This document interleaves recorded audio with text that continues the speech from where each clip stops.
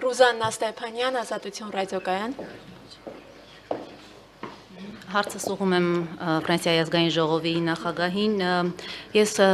կուզենայի իմանալ, արդյոք Ֆրանսիան պատրաստ է փաստահավաք խումբ ուղարկել Լեռնային Ղարաբաղ եւ Լաչինի Միջանցք այդ մասին կոչով դիմել է միջազգային հանրությանը եւ վարչապետը այսօր այդ մասին նաեւ բարձրաձայնեց Հայաստանի արտաքին գործերի նախարարը եւ ընդհանրապես դուք հնարավորություն տեսնում եք, որ Ֆրանսիան փոխարինի ռուս խաղապահներին Արցախում։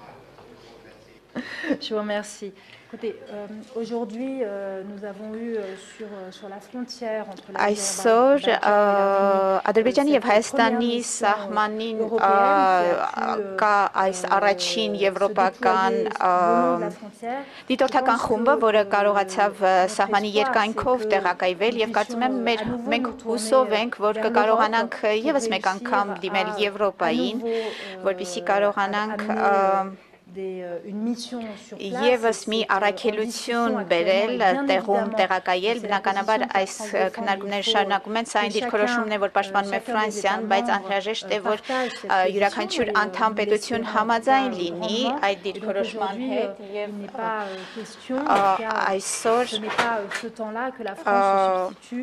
Ֆրանսիան չի փոխարինում Եվրամիությանը երկու երկրների սահմանին ինչ Ինչ վերաբերում է փաստահավաք առաքելությանը, ես չգիտեմ արդյոք հայկական իշխանությունների կողմից նման դիմում եղել է։ Ֆրանսիան, երբ եղան դիմումներ, օրինակ Ուկրաինայի կողմից, պատասխանեց այդ դիմումներին, այդ խնդրանքին, ուղարկելով մի շարք փորձագետներ,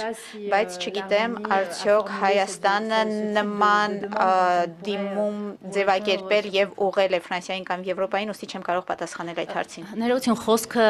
Արցախում եւ Լաչինի միջանցքում փաստահավաք խումբ ուղարկելու մասին է, ոչ թե Հայաստան-Ադրբեջան սահմանին։ Արգելի Ռոզաննա, եթե ես չեմ սխալվում, դրա համար առնվազն պետք է նաև Ադրբեջանի համաձայնությունը եւ դուք նաեւ գործընկերը նշեց Հայաստանի իշխանությունների կողմից հայտարարությունները, բայց արդարացի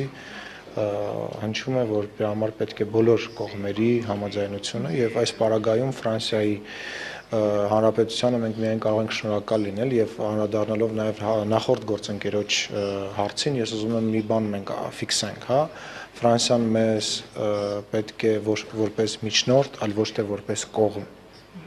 Ֆրանսիան առանց այդ էլ ամեն ինչ անում է տարածաշրջանում խաղաղություն վերելու համար, Հայաստանի Հանրապետության եւ հայ ժողովրդի շահերը պաշտպանելու համար, բայց այնուամենայնիվ մենք խոսեցինք նաեւ բանակցությունների մասին, Ֆրանսիայի Հանրապետությունը մեզ պետք է որպես միջնորդ, այլ ոչ թե որպես կողմ։ Եվ կարող եմ մեկ հարցել ռազմական աջակցության հետ կապված։ Արդյոք պատրաստ է Ֆրանսիան Հայաստանին ռազմական աջակցություն ցուցաբերել։ Շնորհակալ եմ։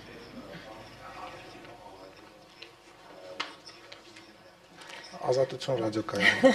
Vous savez madame, je suis présidente de l'Assemblée nationale։ Գիտեք, ես ազգային ժողովի նախագահ եմ, ոչ վարչապետ եմ, ոչ նախագահ եմ երկրի,